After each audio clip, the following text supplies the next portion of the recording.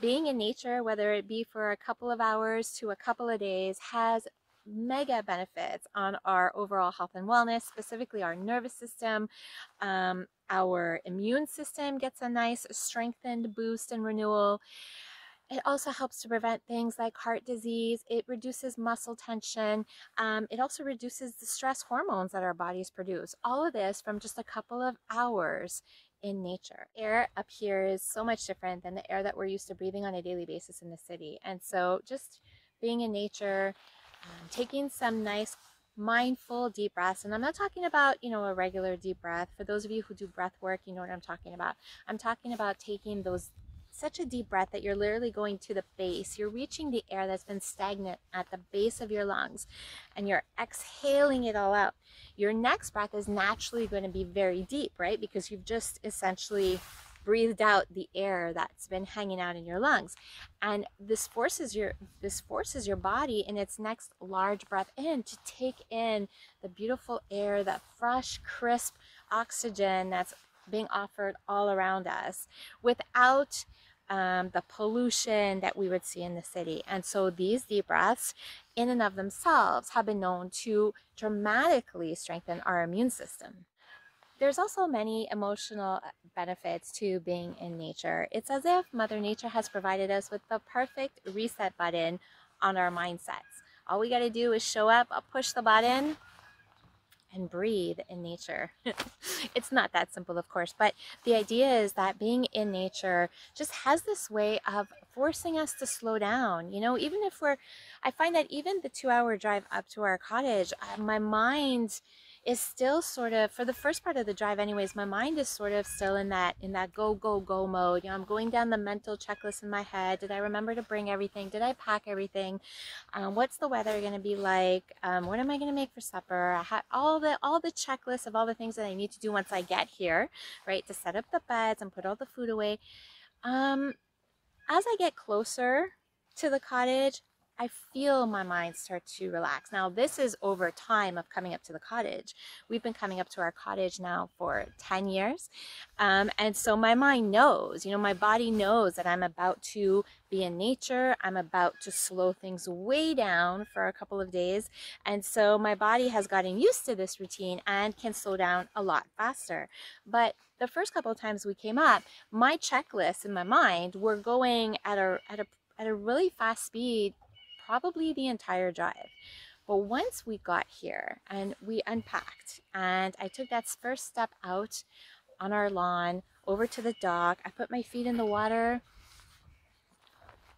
All those lists, all that stress that I had been feeling getting here quickly dissipates. And I've come to really appreciate that and I've come to look forward to it and I've even come to rely on it as part of my practice. That's why I try to get up here um, as regularly as we can, you know, uh, while leading very busy lives in the city. We do try to make it a priority to get up here every so often because the balance of city life and country life have become invaluable to our family. I see it in my kids. You know, my boys are typical 9 and 11 year olds in the sense that they want to be on their video games, they want to watch YouTube, um, they're, they're used to their routine at home. And so every time we make this shift and we decide to come up here, it takes a little convincing, especially my 11 year old. He's, he's, you know, he does a little bit of that of complaining and he's not always so excited and enthusiastic about getting here. But I'm going to flip the, the video for you so that you can see once we get here and he's had some time to accept the fact that we are spending a few days in nature, he benefits. My kids are growing up um, understanding that you know, balance is very important in our in our daily lives. And while there's place for routine, um, there's also got to be a place for allowing ourselves some time to be away from it all, to reboot in a sense. And I can't think of a better place to do that than right here in nature.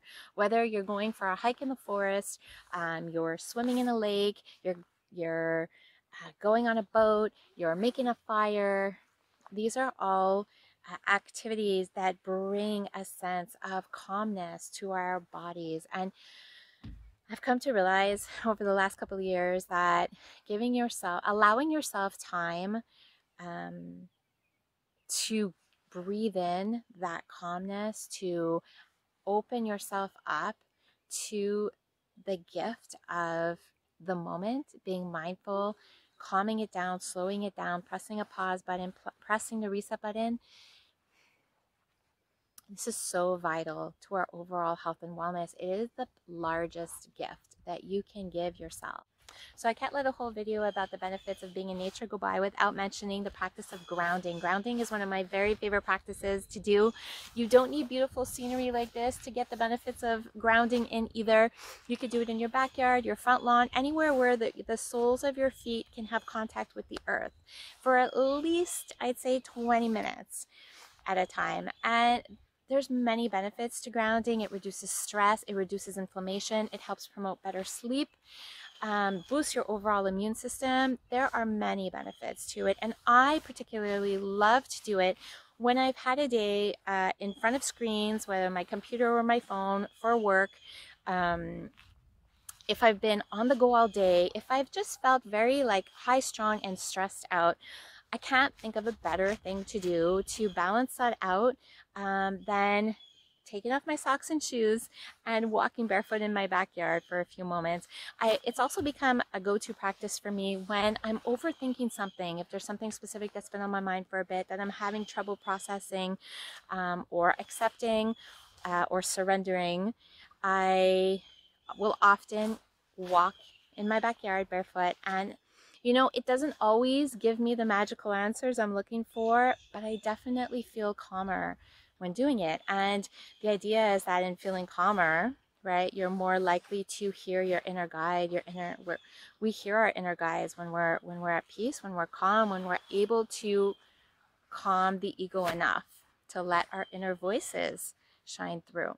So for me, the benefits of being here in nature is all about disconnecting from my daily life, disconnecting from our schedule, um, reconnecting with myself and reconnecting as a family, which um, is so is so important to me. I have so much gratitude for being able to have this time um, and being aware of just how important it is, not just for our physical health, but for our mindsets as well. Because we're it's not just about what we do as individuals, but it's about what we are able to do um, connected with others and your family are your soul tribe. You know they are your people and what better people to do amazing things with than your soul tribe. And so um, that's some of what the cottage has come to mean to me. Uh, it's it's also time for me to appreciate and feel gratitude for the nature around me. I love starting my mornings with a meditation here on the dock uh, if it's a windy morning, even better because I feel like there's something so powerful about feeling the wind sort of almost, it's almost this feeling of passing through you as you are sitting there in such a surrendered state. Um, and while I am aware as a, as a coach, I am aware of the amazing physical health benefits that my family and I are reaping being here and being outside. Um, the mindset shifts, the being able to just press pause on our daily life and reset on our on our mind body soul connection is truly priceless. So my recommendation for all of you today is to go get out in nature. Uh, whether it's with a loved one or on your own, go breathe in some fresh, crisp oxygen. And if you're able to do it, leave your cell phones at home. If you like this video, please click like, share it with anyone you think it would serve. Um, if you haven't subscribed yet, please subscribe. And in the comment section below, tell me what your relationship with nature is. Have you seen any of your health issues improve by being out in nature? Also, any comments or questions you have for me, put them in the comment section and I'll be sure to get to them.